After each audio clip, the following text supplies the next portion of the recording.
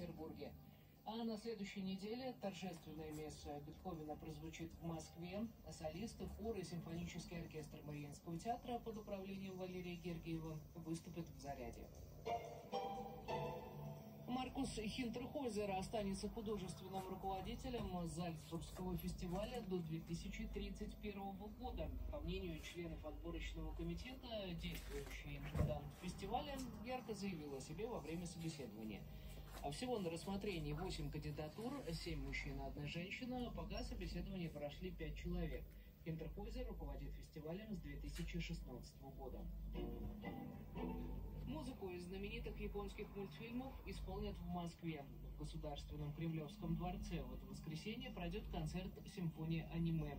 Художественный руководитель и дирижер проекта – японский маэстро Киничи Симура.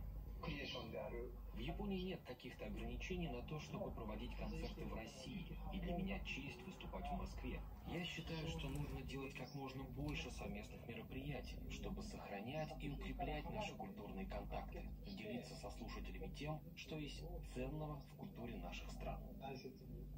В концерте примут участие симфонический оркестр «Русская филармония» и японская певица сопрано Сумика Канадзава. Ярмарка интеллектуальной литературы «Нонфикшн Весна» накануне открылась в Гостином дворе. Запланировано более 300 мероприятий разных форматов, презентации книжных новинок, творческие встречи с авторами и лекции. В студии была Ольга Разумовская. Еще больше новостей в нашем телеграм-канале.